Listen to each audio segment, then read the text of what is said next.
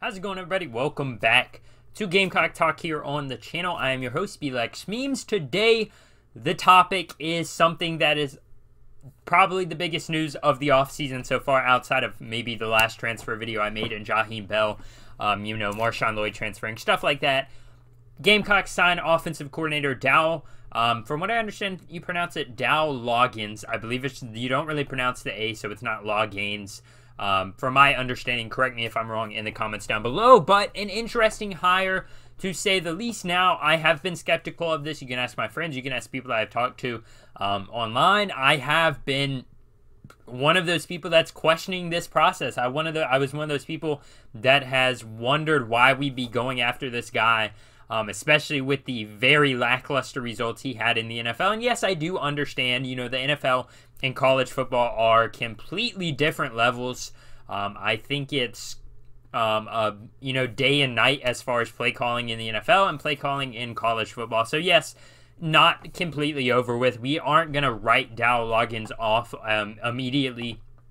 It's just I think the biggest issue with it from most fans and from the perspective of a you know a Gamecock fan is that it's very underwhelming. There seemed like there was other you know candidates that we had a chance at that we just didn't even go after or maybe we don't know what went on behind the door or behind the scenes but it just seems like there were other candidates that we had a chance at but we didn't really pursue them other candidates that were better um, or perceived to be better that we didn't go after because we kind of found our guy or what Beamer thought is his guy early on in the search, and he basically sat on it.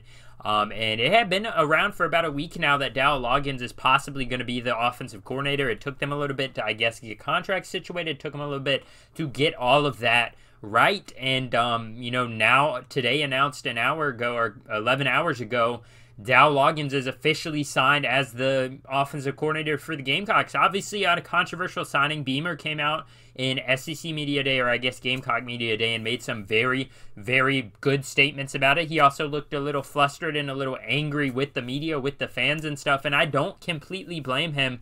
Um, and while I don't always agree with everything he said, I do understand. Um, at the end of the day, the best thing we can do, there's no need to hate on this guy. Um, I mean, he hasn't even had a chance to coach a single play for the Gamecocks, so we'll just have to see how it goes.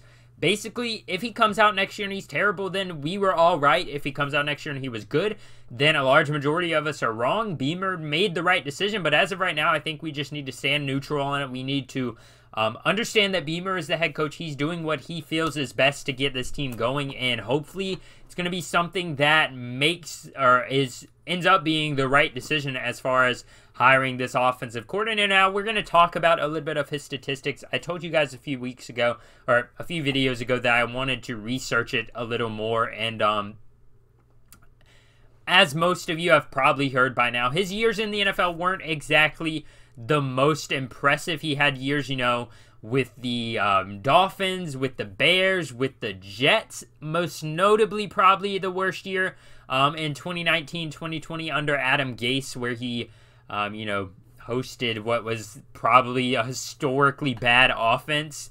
Um, and he had, you know, basically voted in as one of the worst play callers in the NFL. And so a lot of negative stuff going around um, this guy in Dow Loggains. And I'm going to be the first person to say, like I said earlier in the video, I'm not blameless in this. I am a skeptic right now, but there's so many good things that have been said about him. Arkansas fans are genuinely upset in losing him, as you can tell. I mean, he was a good tight ends coach. He is an excellent, excellent recruiter. He obviously has some type of charisma or value because there have been multiple, you know, players and other coaches vouching for this guy. Most notably, Connor Shaw, a Gamecock alumni and probably the greatest quarterback at South Carolina of all time. So there's a lot going good for Coach Loggains now.